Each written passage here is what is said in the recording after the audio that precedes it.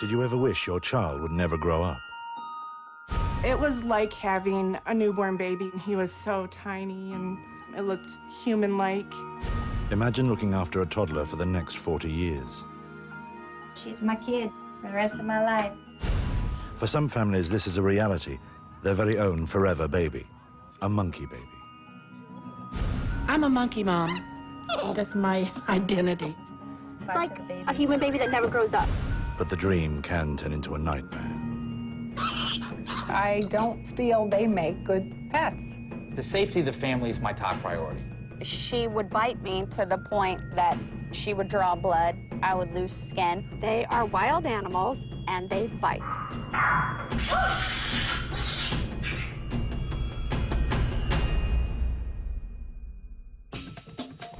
There are around 15,000 primates owned in America, and many are more than just pets.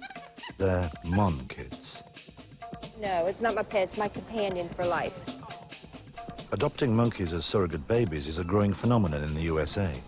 The monkey community are devoted to these non-human primates and see them as part of the family. They're my daughters. They're my adopted daughters.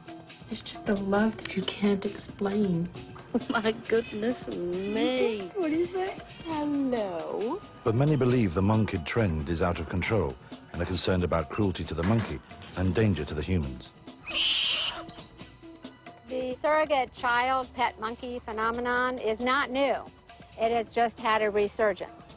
And it is getting so out of proportion. It's, it's really horrible. This family has discovered just how dangerous monkeys can be. In the town of Norfolk in Virginia, 31-year-old Sean lives with his pregnant wife, Sherry, and daughters Jalen, age six, and Brianna, age four. The reasons for wanting to get a monkey were started when I was a little kid. As I was growing up, my father always had animals, and he grew up in Africa, so he was always around wild animals. So that's kind of where my fascination began. Sean's family couldn't afford a monkey baby, which can cost $5,000 or more.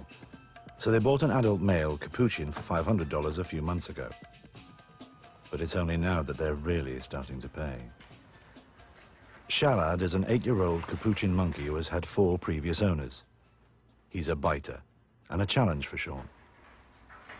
The ad that we responded to um, said, breeder monkey, not for a good pet. Well, I'm a stubborn guy, and I figured we can change him. Nothing is, is, is mean forever.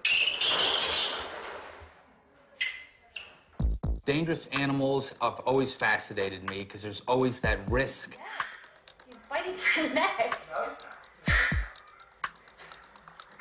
It looks like he's trying to. After about a week, I had gone in, in, into the cage and went and physically grabbed him out. And I was covered, my hands were covered in blood because he just kept, you know, chewing on me and scratching me. And oh, it was so painful the first few times. He would just totally rip me apart. Sean's kids were excited when their dad first brought home a monkey. I was so happy when we got him because he was so cute when he was in his playroom. But Shalad wasn't the cuddly plaything they had hoped for. Remember when he used to bite me? He was crazy, and Shalad. scratch me? and how you guys were scared to go near him? And you guys called him Because Crazy he would Shalad. shake the cage and scream at you? He'd been biting and scratching him, and I was scared. Dad was trying to talk to mom, and he attacked dad. Part of civilizing Shalad is keeping him in diapers. Come, let's go get your diaper changed. Baby. Nice Shalad. Hey. Hey, baby. You're changing a diaper, yes. Monkid parents use diapers for their own convenience, but that can mean owners have to change them for around 40 years. To try and calm Shalad down, he has had what the Monkid community called alterations. Shalad has already had his adult canine teeth pulled out by previous owners. We did neuter him um, a few weeks ago, and it, it calmed him down dramatically. Altering a monkey by having it neutered and removing its teeth may give the owner an easier life, but it's not natural for the primate. They're trying to change what they are into something else to try to make them into this little human. They aren't little humans. They are wild animals and they bite. What Sean didn't realize was that this new family member would start choosing sides in his human family. With me and Sherry, uh, he gets very aggressive when, when we're both in the same room. Uh, if he's in the cage and she gets close to me, he shakes the cage. Shalad is becoming increasingly protective of pregnant Sherry and increasingly hostile towards Sean. Situations like Sean's, where the monkey is a danger to the family, are increasingly common. 20 states have banned private primate ownership, and the federal government has proposed legislation to control the practice across the U.S. I'm against the legislation that is making it tougher for people to own them and enjoy what I'm enjoying right now. Even with the bans and threat of restrictions, monkey adoptions continue. But that also means people are dumping them when they hit puberty and start to bite. They lose their tempers very quickly, and their first response is to bite. Do monkeys bite? All monkeys bite. But can you control it? Yes, of course you can. With the right taming and training, you can have a monkey as a companion. Being a monkey mum is a risky business, but the dangers aren't necessarily the top concern. Many monkey mums just fall in love with the monkeys when they're babies. It was it was like having um, a newborn baby. I mean, he was so tiny. It looked human-like. I think a lot of people get a monkey because they're so cute. And it makes a nice show and tell. It also provides for an empty nest syndrome. I really don't think there's much of a difference between a monkey and a human baby. They still have the baby food and the diapers and the clothing and stuff. I have two infants for 30 years. you know, it's constant and never a dull moment. Primatologist Catherine C. MacKinnon has been studying capuchins in the wild for the last 17 years. She has observed firsthand in the jungles of Costa Rica just how different their lives are away from concrete and diapers.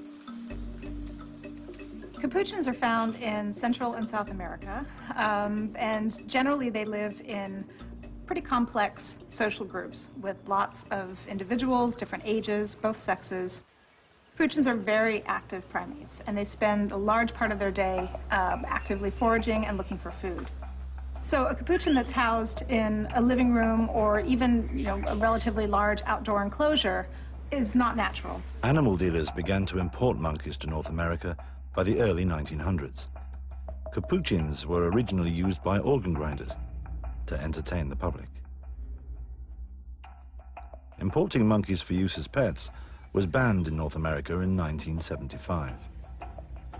Today, most pet capuchins are bred in captivity in North America.